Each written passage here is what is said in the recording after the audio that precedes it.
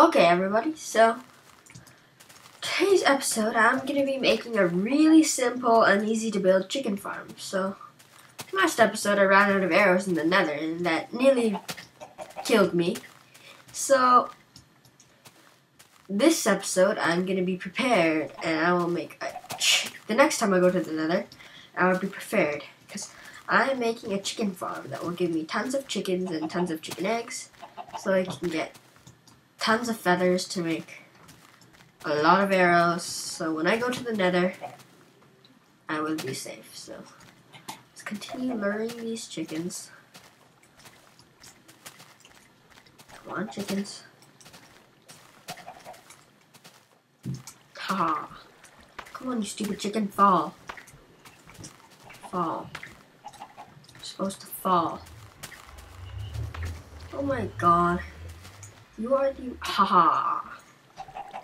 Okay, so what else I'll need for this project? So I'll need one single sign. So make some wood.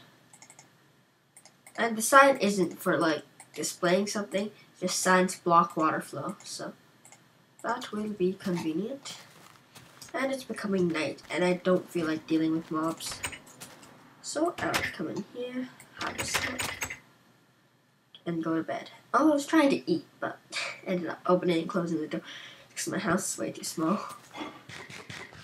Let's have a snack. Okay, okay. No, here's the chicken farm. So, no matter how they try, they can't get out. They're, they're stuck. They're screwed for life. No, they're not screwed for life. But let's see. So,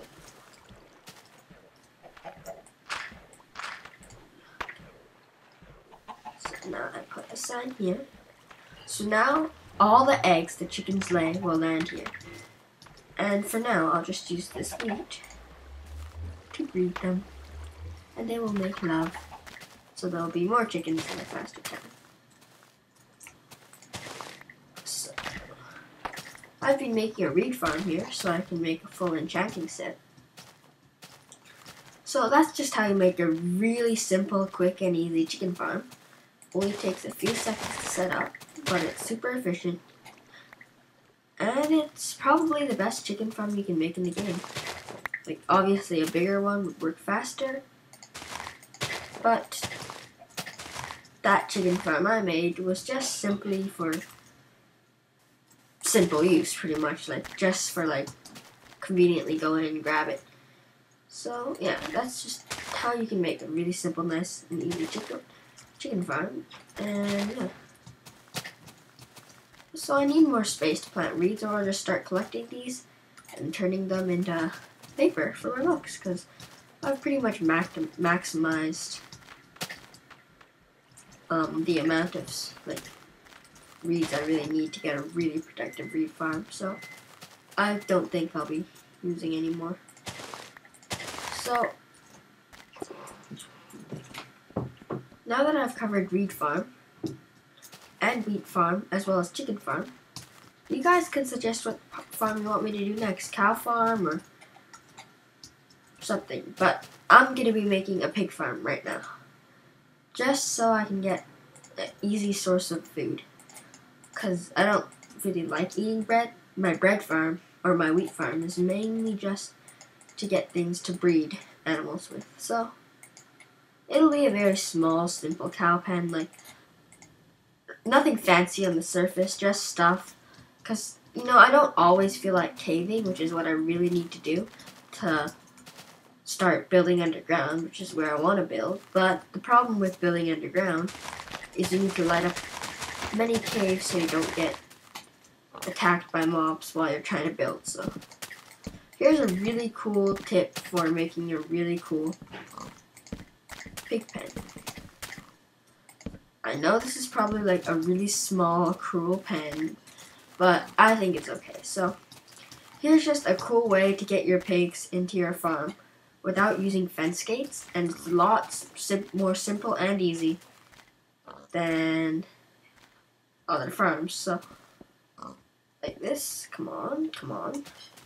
I call this an easy pig loader like that. You just have a block and then a fence, and then they can come in, but they can't get out.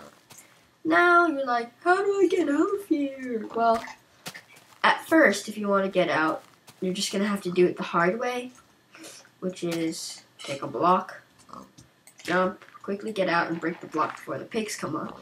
But here's another really cool thing. I'm just gonna show you.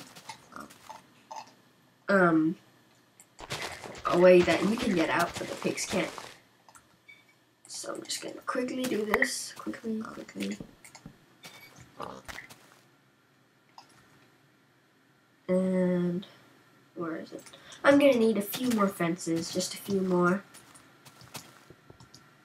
Just a few more, like maybe two.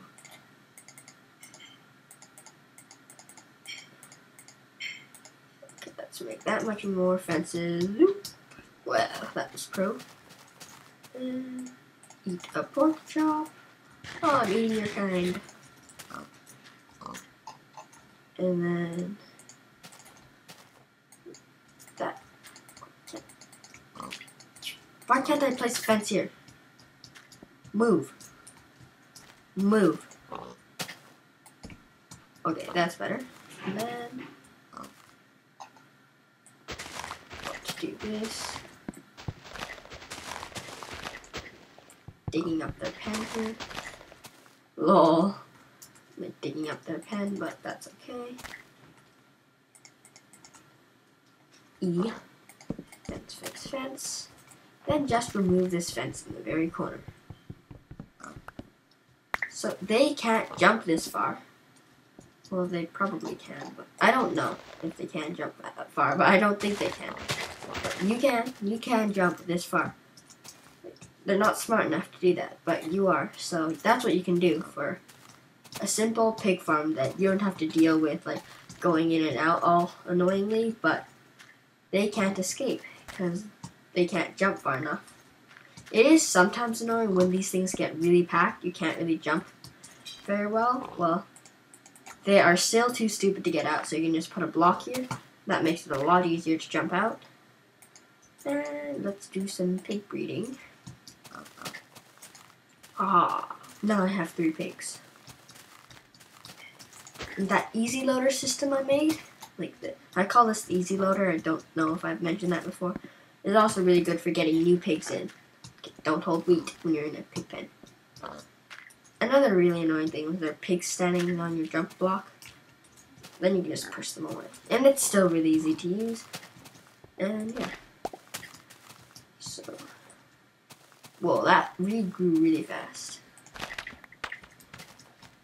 I wish reeds did grow faster. They grow pretty slow, but it's okay. So, let's make some more paper.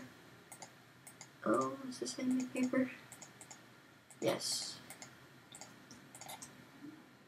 And that's good for our first bookcase. One bookcase for Wade. Ha. Three books, one bookcase.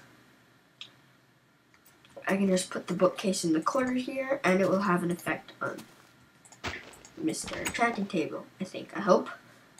So let's end off the episode with that. Let's make our first bookshelf ever. Dun da da da. Dun da da. So that's our bookcase. If you don't already know, what bookcases do is they provide higher level enchants. So now let's just say, I know this is, uh, I can't enchant it, enchant. Let's enchant the stone axe. So I should be able to get a higher level if it's not blocked. Do you see that? I got a 6. There's another 6 there. So now I can get up to a level 6 enchant. So why don't I do a level 6 enchant on a sword? Let's make myself a brand new iron sword. Let's do a level 6.